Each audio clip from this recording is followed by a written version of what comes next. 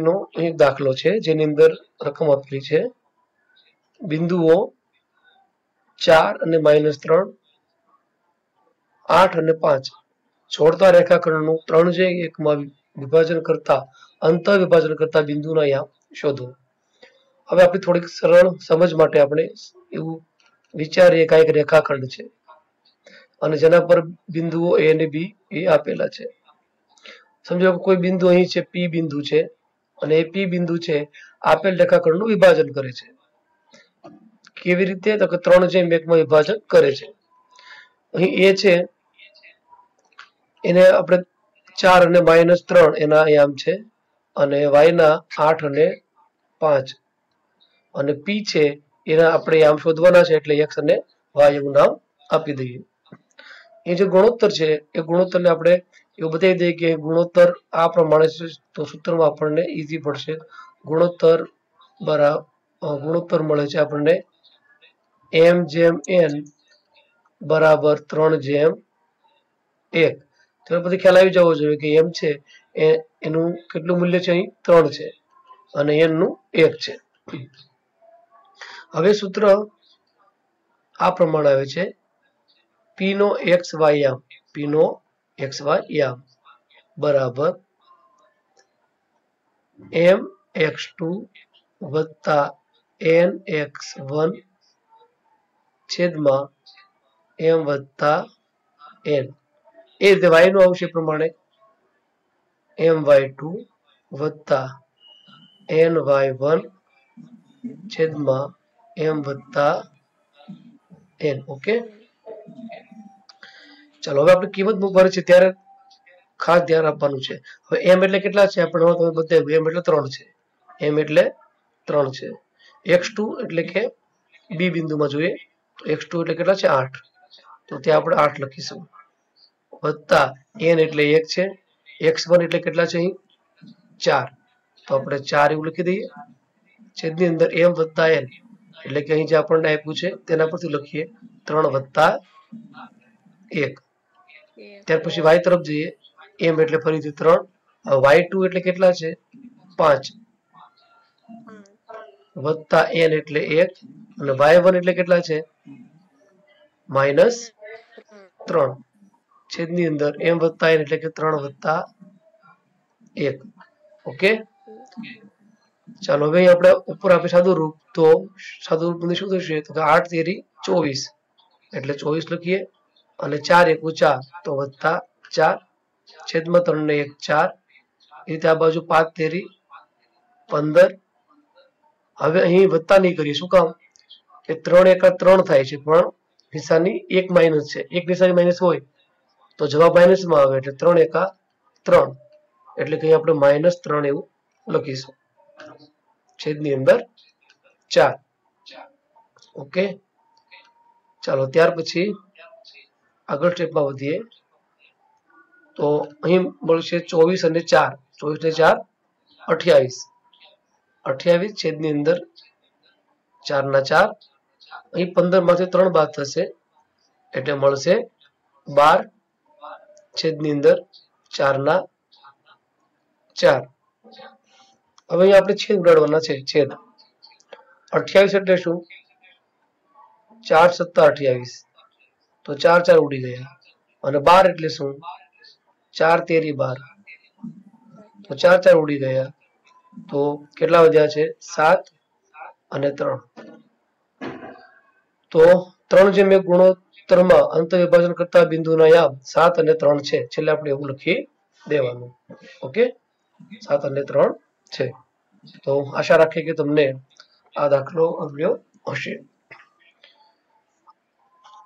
તો આ જ રીતનો આપણે બીજા એક દાખલાનો અભ્યાસ કરીએ. તમે આ નોટમાં નોંધ કરી દેજો અથવા તો અત્યારે સ્ક્રીનશોટ લઈ લેજો, જેથી તમે પછીથી ગણતરી કરી શકો. ઓકે સ્ક્રીનશોટ તમારે લેવાઈ ગયો હશે. બીજા દાખલાનો અભ્યાસ કરીએ.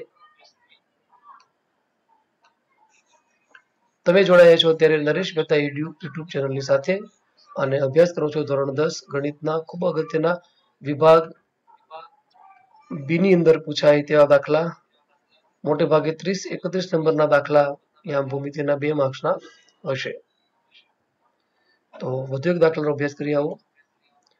રકમ છે, બિંદુઓ.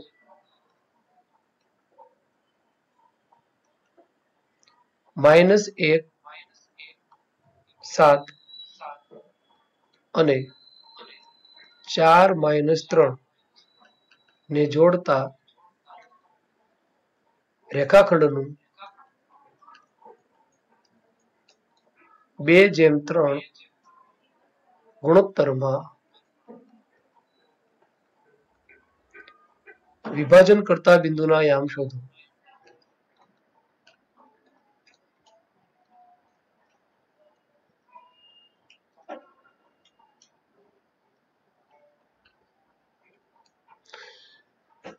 ચાલો, તમે અત્યારે લાઈવ જોડાયેલા છો અને હમણાં એક મિનિટ પછી બંધ થઈ જાય છે, ત્યારે ફરીથી જોડાવાનું છે. સમજી લઈએ કે આપણે રેખાખંડ છે કોઈ, અને એને આપણે એ અને બી એવા બિંદુ બતાવી દઈએ. અહીં કોઈ બિંદુ પી છે કે જે બે જેમ ત્રણમાં વિભાજન કરે છે, એટલે પહેલો ભાગ બે છે, બીજો ભાગ ત્રણ છે. એટલે કે બે જેમ ત્રણ આ રીતે. કોઈ બિંદુ પી એ આપણે બતાવી દઈએ. એના એમ આપ્યા છે માઇનસ એક અને સાત. અને અહીંયા આપ્યા ચાર અને માઇનસ ત્રણ. પી બિંદુ છે, પી બિંદુના આપણે ધારી લઈએ. એક્સ અને વાય. અહીં જે ગુણોત્તર છે, એ ગુણોત્તર આપેલો છે એમ જેમ એન બરાબર બે જેમ ત્રણ. હવે કરીએ ગણતરી શરૂ. કરીએ ગણતરી શરૂ. તો પીના એક્સ અને વાય આમ આપણે શોધવાના છે. તો શું થશે? સૂત્ર બધાને ખ્યાલ છે હવે? એમ એક્સ ટુ વત્તા એન એક્સ વન છેદમાં એમ પ્લસ એન આ બાજુ એન એક્સ ટુ વત્તા એમ એક્સ ટુ વત્તા N X one N X one છેદમાં એમ પ્લસ એન તમે જોડાયા છો તે લાઈવ ક્લાસની અંદર. એક સેશન પૂરું થયા પછી સેકન્ડ સેશન હમણાં શરૂ થાય છે. ત્યારે લાઈવ આપણે જોઈ શકશું. તો આગળ વધીશું. તો આગળ સ્ટેપ પ્રમાણે શું થશે? જેનો આપણે અભ્યાસ કરીએ.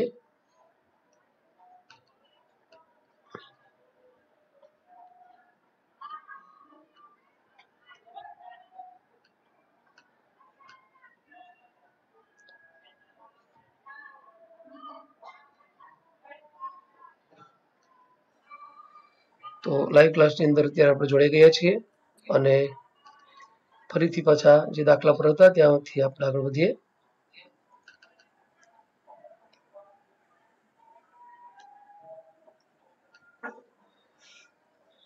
તો એમ એક્સ ટુ વત્તા એન એક્સ વન છેદમાં એમ પ્લસ એન અને વાય ટુ પાછળ આવશે વાય ટુ આપણે એક્સ ટુ લખી દીધા છે.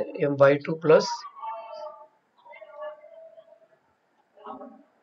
M Y two plus N Y one છેદમાં એમ પ્લસ એન હવે જો એમ એટલે કેટલા છે અહીં? તો એમ એટલે બે છે અને એન એટલે ત્રણ છે. એન એટલે ત્રણ છે. તો લખીએ પેલા બે એક્સ ટુ એટલે કેટલા? ચાર. ત્યાર પછી વત્તા એન એટલે ત્રણ. એક્સ વન એટલે માઇનસ એક. છેદની અંદર બે વત્તા એક. એવી રીતે અહીં એમ એટલે બે વાય ટુ એટલે માઇનસ ત્રણ વત્તા એન એટલે ત્રણ અને વાય વન એટલે કેટલા છે? સાત. છેદમાં બે વત્તા ત્રણ. અહીં આપણે એક લખ્યું છે બે વત્તા ત્રણ આવશે. બે વત્તા ત્રણ. તો એમ એક્સ ટુ વત્તા એન એક્સ વન છેદમાં એમ વત્તા એન અને એમ વાય ટુ વત્તા એન વાય વન છેદમાં એમ પ્લસ વન એની કિંમત આપણે મૂકી આપીએ સાદુરૂપ. તો પ્રથમ કેટલું થશે બોલો? ચાર દુ આઠ. એ ત્રણ એકુ ત્રણ. પણ એક માઇનસ છે એટલે આઠ માઇનસ ત્રણ થશે. છેદમાં બે વત્તા ત્રણ એટલે બે ને ત્રણ પાંચ. એવી રીતે અહીંયા ત્રણ દુ છ. પણ માઇનસ છ થશે. અને સાત તેરી એકવીસ. એકવીસ પ્લસ થશે. છેદમાં ત્રણ ને બે પાંચ થશે. આગળ વધીએ. અહીં આઠમાંથી ત્રણ બાદ થશે. એટલે પાંચ આવશે. છેદની અંદર પાંચ. આ બાજુ એકવીસમાંથી છ બાદ થશે. તો પંદર આવશે. કારણ કે મોટા એકવીસ ધન છે. એટલે ધન પંદર, છેદની અંદર પાંચ. તો અહીં પાંચ પાંચ ઉડી જાય. અને આ બાજુ પંદર ના અવયવ પડે. પાંચ તેરી પંદર. તો પાંચ પાંચ ઉડી જાય. તો શું મળશે ત્યાં? આગળના સ્ટેપની અંદર તો કે અહીંથી મળશે એક અને પાછળથી મળશે કેટલા? ત્રણ. એક અને ત્રણ. તો એક અને ત્રણ. એ આપણો જવાબ બનશે. એક અને ત્રણ જવાબ બનશે. આશા રાખીએ કે આ દાખલો તમને સમજાયો હશે.